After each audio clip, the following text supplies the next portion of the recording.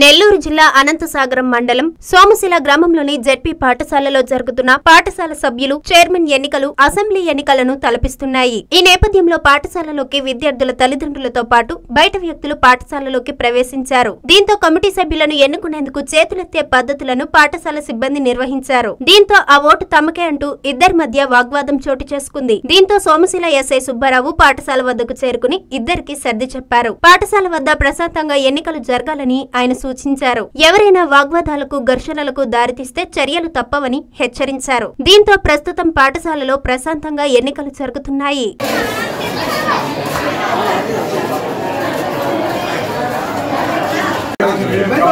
ఉద్దేశాలకు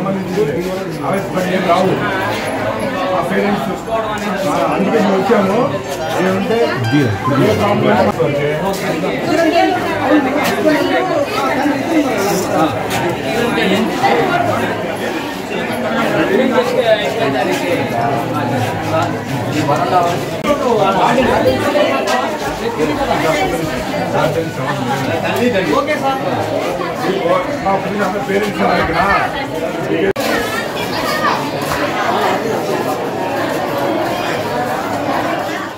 ఎల్లవేళలా విజయం ఎదురులేని పయనం. ఎవెన్యూ సీనియర్ సెకండరీ స్కూల్ ఏడు సంవత్సరాల అకాడమిక్ ఎక్సలెన్స్ అనుభవంతో ఎల్కేజీ నుండి గ్రేడ్ లెవెన్ వరకు అకాడమిక్ ఇయర్ ప్రారంభం. అనుభవజ్ఞులైన అధ్యాపకులచే విద్యా బోధన విశాలమైన తరగతి గదులలో క్లాస్కి ముప్పై మంది చొప్పున విద్యార్థుల సంఖ్య. Computer lab science lab maths lab library digital classrooms లాంటి మెరుగైన సౌకర్యాలతో విద్యా బోధన ఎల్కేజీ నుండి గ్రేడ్ లెవెన్ వరకు అడ్మిషన్లు జరుగుతున్నవి ట్రాన్స్పోర్ట్ సౌకర్యం కలదు.